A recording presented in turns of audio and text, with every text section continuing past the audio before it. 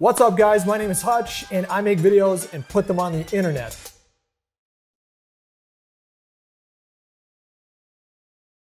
What happened? You're cute. Oh, and this is Pine Park Movie Talk.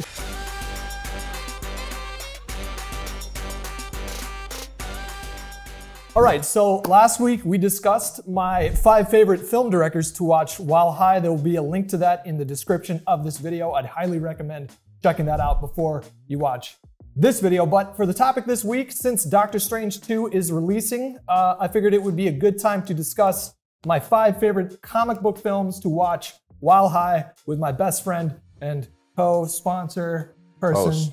co-host, uh, Hector Rodriguez. What's up, buddy? I am doing great. What's up with you? I'm doing great as well. You've been smoking weed since 9:30. 9:30. It was a, a good six-hour session of just constantly smoking. It's been pretty good. These guys want me to like get high, like when I do these episodes, and I can't. I just can't do it. I cannot function. You don't know that until you give it a shot. I think the, the creative juices will be flowing, and you'd be on so much autopilot that all of the knowledge that you know about movies will just like flow like a gentle stream. No. Into the I, camera. I think I would freeze up. I would get very frightened Mhm. and uncomfortable. To be. I think that we should give it a shot. So I asked you to uh, come up with a list of five comic book films that you like to watch while high. You Yep. you say that you can remember them off the top of your I head. I can, yeah. Okay, so why don't you do you give you, you give me one and then I'll give you one Okay. and then we can bounce off each other. So give me one comic book film that you like to watch while high. Um, my favorite one is also one of your favorites, which is uh, Spider Verse, um, Into the Multiverse, or Spidey Into the- Spider Into the into, Spider-Verse. into the Spider Verse, Yeah. uh, because you know Miles Morales, you know graffiti writer, and it like the whole opening of it is about you know sticker, you know graffiti, and you know that that sort of thing had Yeah, this impact, not impact on me, and then he's also wearing the shoes that I like to wear, the same way that I like to wear the shoes, like it. You know, it, it made me like it, and then obviously like all the effects and the, the, the cartoon, the art, I appreciated it even more. The music. Yeah. Oh, the the- music. Yeah. The soundtrack to that is so fucking good. All right, the first one on my list uh, is topical is Doctor Strange. Uh, it's visually such a treat to watch that movie. It's so obviously influenced by Inception, Mm-hmm. which is of course a mind fuck in itself, and you know an- another wonderful film to watch while high. But you know, it's I don't think it's the best MCU film, but it's a lot of fun Yeah. to watch when you're in the right state Oh, of yeah. mind. And anything with Tilda Swinton, who plays the ancient one, Yep. she's just like this really weird actor who loves these weird roles, and she always does such a good job with them. So good. yeah, You're so good. Uh, for me, another one, uh, or the next one is Guardians of the Galaxy 2. And I, I, I wanted to say one and two, but I just said, you know what, it's gonna, it's gonna have to be number two. One of the best openings. Like as soon as Groot finds the, you know, the cable to where it needs to go, and the music just fucking hits you, and just visually, you're just like lost in the amount of like complex fights that are happening all at once and then you know sort of throwing the character's personality into each and every single one of those little uh, blips that they have on camera. Just like it was like so beautifully composed that it was just like a, almost like a perfect like mood 15 or what two minutes of just fucking awesome you know, um, I I did a tier list for comic book films recently, and you would be surprised how many people in uh, on social media were trying to make the case that Guardians 2 was a mid film. Like it actually quite. What do you think, by the way? You think it's a Mid? mid film? wow Okay, so he thinks, it's, yeah, that this is like a common thing that people think, but uh, that was not my experience with that film. I thought I had so much fun with it. I saw it with Mike and May and my and my fiance, Mm-hmm. and I have never heard Esme laugh as hard as she laughed Yeah. in that film. yeah And, uh, uh, mid yeah. the whistling like that was like the whole thing was funny So my second film that I picked for this list is uh, a late '90s Batman film called Batman Forever, which is definitely not the best Batman movie, but it's so goofy and over the top that if you're in that state of mind, I think it lines up Yeah. very, very well.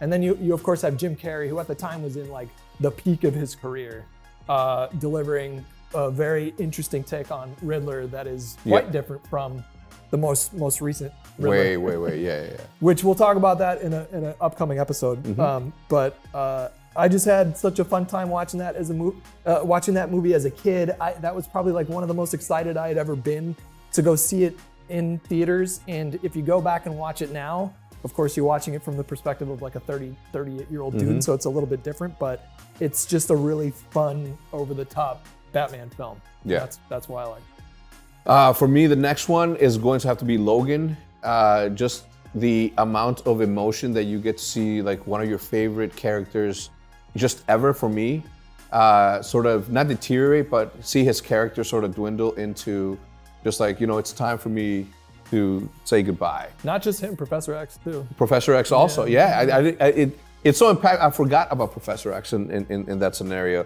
That one, I think it, it did a really good job at sort of uh, keeping it interesting and introducing a new character that made you say, "Whoa, that's cool." Which obviously the, the little girl, I don't remember her name. Yeah, yeah. Um, so yeah, I think I think definitely Logan. Just it had everything, right? Everything that I would have liked to have seen. Like uh, it, it has imagination. Uh, it has like different different stages of a character you've been following along since you were literally 13 years old. I was 13 years old, right? And I knew about like the, the that. So being 42, and I may, I may be off a couple years, but just having this character be my favorite because of what he represents, just this badass dude. Yeah. Um, yeah, it made me made me. Logan Logan is an S plus Mm-hmm. movie, I would say for sure. It's it's in like the my there's like seven comic book films that to me are just the best of the best. And and some days I think Logan is probably my favorite. The next movie on my list is Man of Steel, Mm-hmm. which I believe came out in 2014 or 2013. Men of Steel. Direct- Man of Steel, Yeah. directed by uh, Zack Snyder. Loved loved it. Are we allowed to talk about powerful hallucinogens on this channel? Yeah, of course. So once upon a time, I used to really dabble with uh, LSD, Mm-hmm. and uh, this was one movie that I managed to watch basically every time I was tripping balls on LSD. So you remember to go back and watch that? it was just this like compulsion that I had every time it kicked in. Yeah. I just really wanted to watch that film because like whenever I would hallucinate and and take this drug, watching movies felt like so much more immersive than at any other point. I feel like I'm in the movie. Mm-hmm. Yeah. And what better, you know, that's like a childhood fantasy of being Superman. So Yeah. to this day, like I can't, like I'm compromised when it So comes to. Man of Steel. Like I Yeah. can't tell you if it's actually a good movie or if I'm just really fond of it because Same. I was ripping my fucking face off every time I watched. Oh, I, I, I- I think you're. It's one of my favorites too, um, and I would put it up there also. But I'm not. I, I just chose something else. Uh, it is Batman. Um, The uh, Tim Burton original no, or the No. Adam West no, it's Batman a, Begins. no the the, Dark the, latest one, the dark the, Batman. Dark Knight. No, the Dark Knight. Not You just the said the Batman. latest one. No, the the latest good one. Batman: The Dark Knight. Uh, just it, it, it made me a mega fan of Batman, which I wasn't before up until this point. Yeah, and, and when he was announced too, when Heath Ledger was announced as Joker, Mm-hmm. he was most at that point most known for like these sort of like tween comedies, Yeah. or like Ten Things I Hate About You and A Knight's Tale. Fucking and, one of uh, my favorite, Shannyn Sossamon as as the as the as the as the uh, princess. Fucking ama- I watched that movie so many times. Loved it. I don't know who that person is, but Yeah. but but when when when he was first announced as as being cast in the role of Joker, Mm-hmm. there was a huge backlash. A lot of people didn't have faith. Uh, uh, but as soon as like that first, they released one image of him in full makeup, Mm-hmm. and that shut everybody up. Like all they had to do was just see an image of him smiling, and people Yeah. were like, "Oh, I'm kind of interested." Yeah. And then of course, you know, the fact that he died two weeks before the movie came out. Made, Oh, my Like God. it, it, it I saw. I'll, I'll never forget that experience of seeing that movie in theater. I'll never forget that. We went on. It, this was back when you had to go at like midnight on Thursday if you wanted to see it early, and I, I did that with like Two Towers. I did that with like dozens and dozens of movies. Mm-hmm. But this movie, I mean, the crowd was uh, like, as soon as he delivers that first line, you know, Mm. whatever doesn't kill you makes you stranger, and he takes off his mask. The whole crowd gave him a standing ovation. Everybody was just their jaw just hit the floor. I mean, it's just truly one of the most iconic performances ever. so. Amazing. Yeah. All right, so the next movie on my list is uh, Thor Ragnarok, directed by uh, Taika Waititi. Um, the first two Thor films, the first one was directed by Kenneth Branagh, who is, uh, uh, you know, he's a very talented actor, very talented filmmaker. I, I really liked the first one. The second one didn't get received as well, um, but they weren't super like comedic films. They were there, you know, there, there was some comedy. Mm-hmm. The first one's the one with uh, um, the uh, what's her name? Uh, Natalie Portman. Natalie Portman, right? Yeah, so they brought in Taika Waititi, Mm-hmm. who who was already like really established, but not for like big block, blockbuster. He, he had done like Hunt for the Wilderpeople and Eagle versus Shark and Joe. I think Jojo Rabbit maybe came after that. I don't know if you ever saw Jojo Rabbit. I did. That's another really good one. But he's got this uh, really like over the top comedic style, and Ragnarok to me is one, you know, is easily the funniest MCU film, Mm-hmm. and and I'm I'm so incredibly hyped for Thor: Love and Thunder. But um, I love everything about it. It's colorful, it's fun, it captures, it really captures the vibe of like Saturday morning cartoon, Mm-hmm. which is what I'm like. That's like sometimes when I go to see a comic book film, that's what I want to see. Sometimes I want it to be dark and gritty like the Yeah. And then sometimes I'm just ready to just like, Yeah. you know, let's have some fun and. Yeah. You know, take me on whatever journey you want to take me on. the Coliseum scene where they have this like incredibly comedic exchange between Hulk and him. Uh, it's it's like you see him with his you know short hair and it's not the traditional you know wavies, right? Uh, I, I thought every one of my favorites so much so that I said if he bring if he says that one, then I'm gonna say the next one, which is Deadpool. Deadpool, wow. And The intro itself, the way that they composed the sort of camera. the whole action sequence Yeah, on, the, on the- yeah. on the freeway. On you, the you- you know that they shot like that's that's how they pitched the studio Mm-hmm. to get that film made. Is they filmed like a like a sort of like a mock-up version of that, and then they presented it to the studio, and I think the studio turned them down, and then they leaked it Mm-hmm. online. That spread like wildfire, went viral, Mm-hmm. and was so popular that I think I could be getting the story wrong, but I think this is what I read that happened. I would love it if that they was a true story. They purposefully leaked it so they could generate hype to convince Yeah. the studio to, to make the movie. And then it ended up being like at the time the most successful R-rated film of all time. It grossed over a billion dollars worldwide. Yeah. and paved the way for I think Logan, which w- that was the first R-rated Yeah. take on um, on Wolverine we had seen. Yeah. Let's let's let's bang out this last one. My uh, so this is not the best comic book film. I'm just gonna give that disclaimer right now.